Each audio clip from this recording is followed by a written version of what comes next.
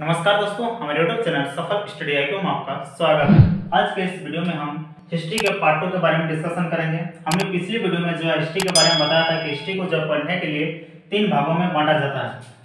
चलिए जो हमने जो, जो हमने बताया था पिछला पिछला वीडियो में उसके बारे में हल्का सा बता लेते हैं। उसके बाद हम लोग जो आगे शुरू करेंगे। सबसे पहले हमने बताया था कि हिस्ट्री को जो पढ़ने के लिए जनरली तीन भागों में बांटा जाता है।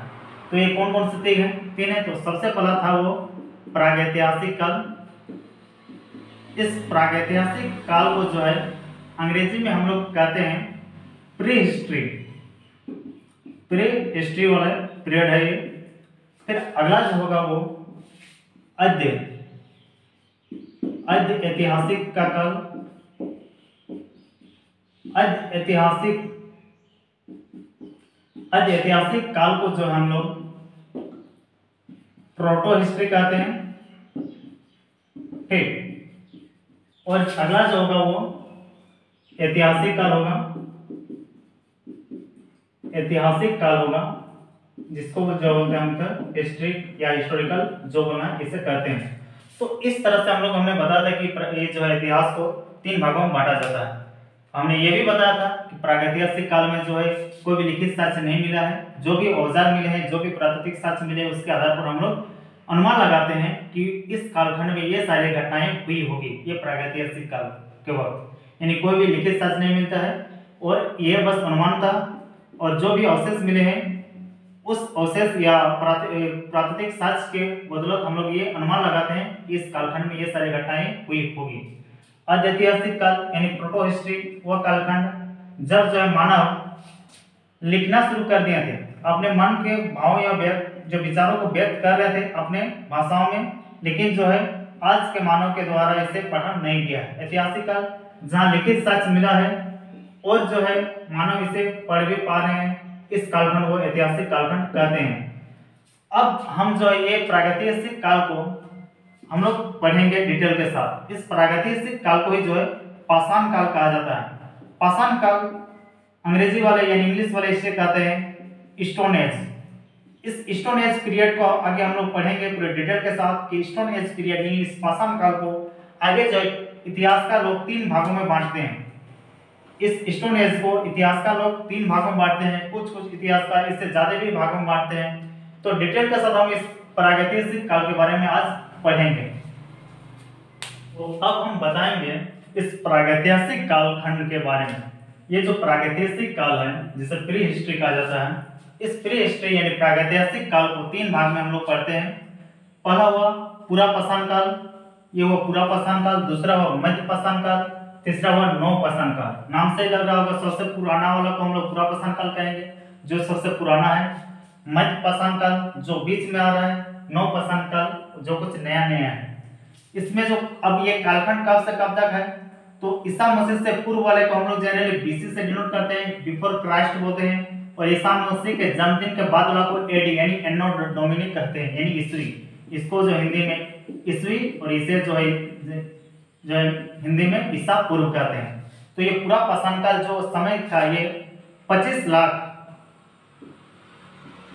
25 लाख बीसी यानी ईसा पूर्व से लेकर दस हज़ार दस हज़ार दस हज़ार ईसा पूर्व तक था।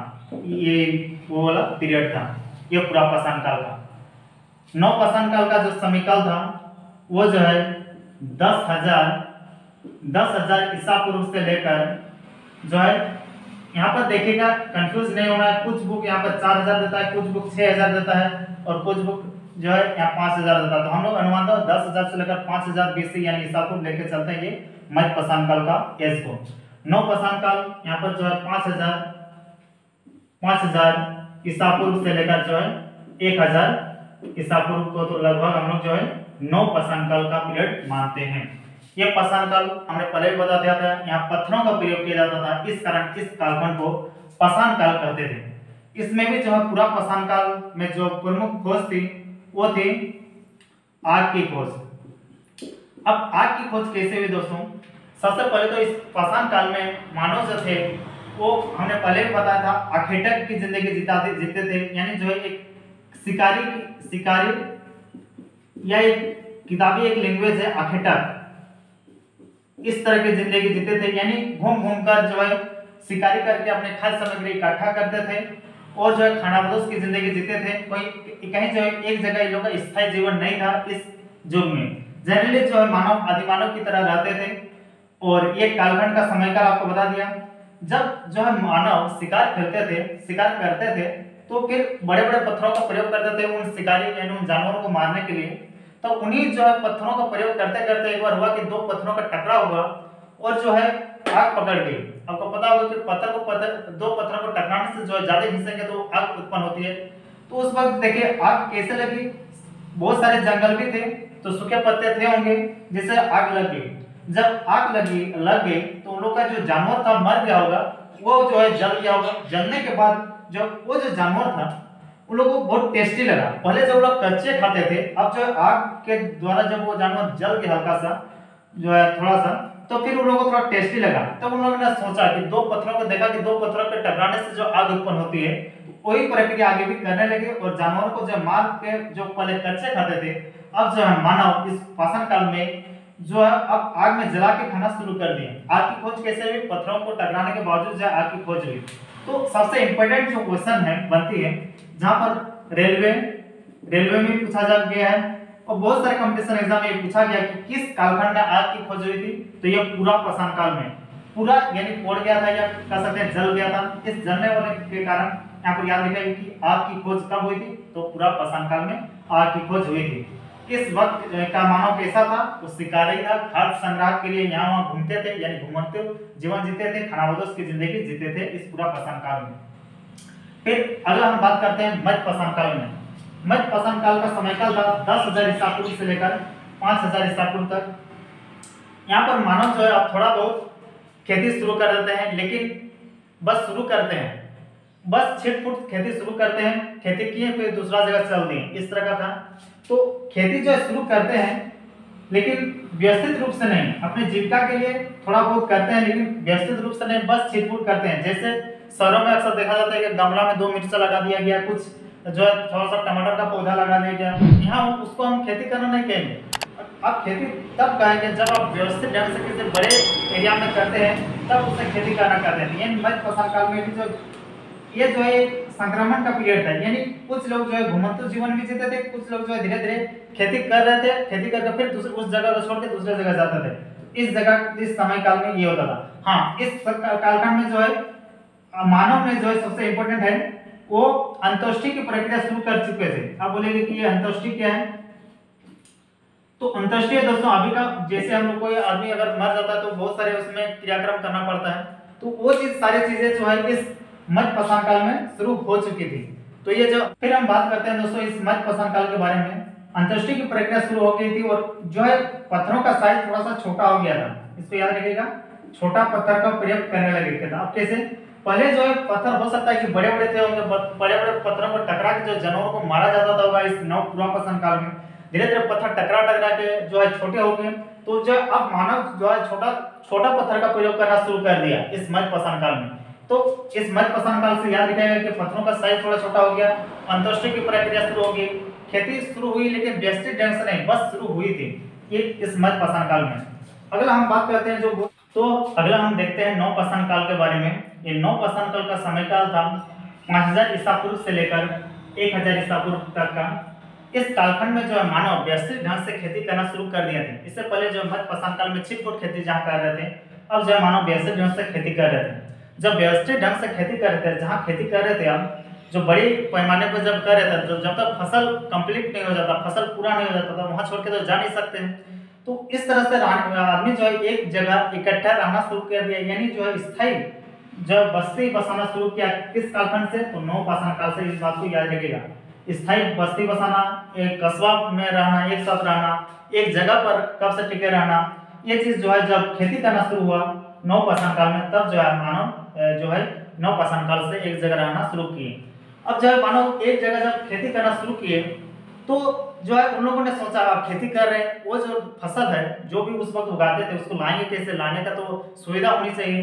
तो जो है इस वक्त के मानव के द्वारा जो है एक जो है लुढ़कने वाली चीज़ की खोज की गई, जिससे बाद में पहिया कहा जाने लगा। यानी पूछा जाएगा, किस कालखंड में, किस काल में, जो है, किस पाषाण काल में पहिए की खोज हुई? तो वो अगर नौ पाषाण काल अगला जो है, अब देखिए, अब जो भी उपजा रहे हैं, उस काल, जो भी खेत में उपजा रहे हैं, उसको लाने के लिए पहिए की खोज लेकिन पहिए से भी तो सिर्फ़ आएगा नहीं अब तो ऐसा हाथ से ला नहीं सकते हैं तो कुछ। तो इस काल में जो है मनकी की खोज हुई थी। याद रखिएगा मनकी मतलब होता है मिट्टी का घड़ा। मनकी की खोज खोज कब हुई थी? तो नौ पसान काल में हुई थी। मनकी खोज, आदमी ने, उस वक्त आदमी क्यों सोचा होगा?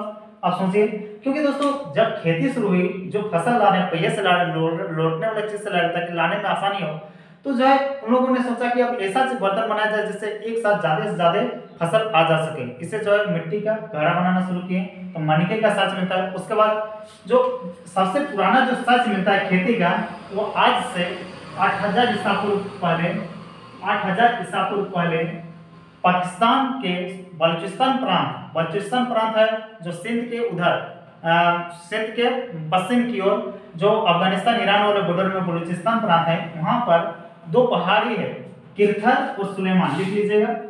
किरथर किरथर की पहाड़ी, कहाँ पर है? किरथर की पहाड़ी साथ साथ भूगोल की थोड़ा सा हो जाएगा। किरथर और सुलेमान की पहाड़ी के बीच में एक मैदानी भाग है।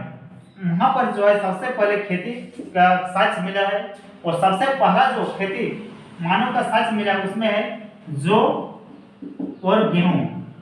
जो और गेहूँ का साक्ष मिला है, सुलेमान और किरथर पहाड़ियों के बीच जो है, इस नौ पाषाण काल में। इतने आपको नोट डाउन करना था नोट करते जाइए। आज से आठ हज़ार ईसा पूर्व पहले सुलेमान और किरथर पहाड़ियों के बीच ये नौ पाषाण काल का हम बात कर रहे हैं। यहाँ पर हम लोग इस कालखंड को भूल जाते हैं, इसको हटा देते हैं। हम नौ पसंद का बात कर रहे हैं यहाँ पर। फिर अगला जो है, मानव ने पूछेगा, पहला पालतू पशु किसे बनाया था? पहला पालतू पशु मानव ने किसे बनाया था? तो कुत्ता को बनाया था याद रखिएगा, डॉग को। कुत्ता को पहला जो है पालतू बनाना, पशु बनाया था मानव ने। तो इस बात को भी नोट कर लीजिएगा। फिर अगला हम लोग बात करते हैं कुछ जो इतिहासकार इस पाषाण काल को, जिसने हमें बताया था पहले भी, पूरा पाषाण काल, सबसे पहले हमें बताया था पूरा पाषाण काल। उसका बाद में बता दें कि ये मध्य पाषाण काल, फिर जो है ये नौ पाषाण काल। हम लोग ये पाषाण काल को तीन भाग में बांटते हैं। ये जो पाषाण काल है पाषाण काल को तीन भागों में बांटा जाता है। पाषाण काल को तीन भागों में जो हम लोग बांटे थे और पढ़ रहे थे, इस पूरा पाषाण काल, मध्य पाषाण काल और नौ पाषाण काल कुछ इतिहासकार मानते हैं कि ये तीन नहीं, चार था, बल्कि इस नौ पाषाण काल में जो है, एक नया जो है पाषाण काल जोड़ दिया जाता है जिसे कहा जाता है ताम्र पाषाण काल ताम्र पाषाण काल कुछ इतिहासकार जो इस कारण पाषाण काल को चार काल खंडों में बांटते हैं। कुछ इतिहासकार कहते हैं कि ये जो है नौ पाषाण काल का ये भाग था। इन नौ पाषाण काल में जो है मानवों ने तांबे की खोज कर दी थी। ताम्र मतलब होता है तंबा। तांबे की खोज की कर दी थी। इस कारण जो है इस नौ पाषाण काल को भी ताम्र पाषाण काल कहते हैं। कुछ इतिहासकार कहते हैं कि नौ पाषाण काल के आखिरी आखिरी में, यानी पाँच हज़ार से लेकर चार हज़ार फिर तीन हज़ार, यानी दो हज़ार ईसा पूर्व आसपास में तांबे की खोज हो गई थी। इस कारण जो है, ये जो है नौ पाषाण काल के ही अंदर आ जाएगा ताम्र पाषाण काल तो इतना बस याद रखिएगा कि नौ पाषाण काल के अंदर आ जाती है ताम्र पाषाण काल जहाँ पर जो है मानव ने तांबे की खोज की यानी सबसे पहला धातु कौन सा है? पहला धातु जो है तांबा है जो मानव के द्वारा खोजा गया था। पहला पशु कौन सा है? तो कुत्ता है। एंड डॉग है। तो ये सारी इंपोर्टेंट चीज़ें हैं दोस्तों। इस बात को याद रखेगा हिस्ट्री से ले लेते हैं।